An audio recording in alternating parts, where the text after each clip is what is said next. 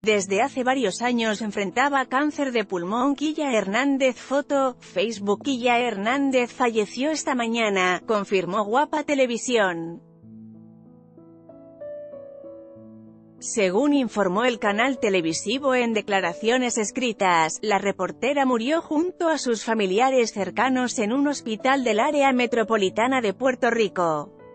Hernández, quien tenía 45 años, enfrentaba desde el 2015 cáncer de pulmón.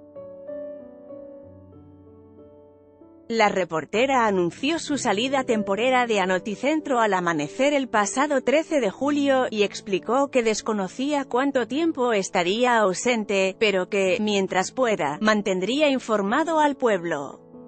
No sabemos cuánto tiempo va a ser, pero solo se los quiero comunicar y estar en comunicaciones con ustedes mientras pueda para mantenerlos al tanto con lo que esté pasando.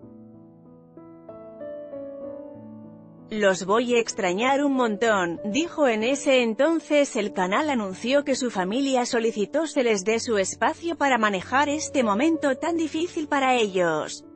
Punto. Sus esequias se anunciarán próximamente.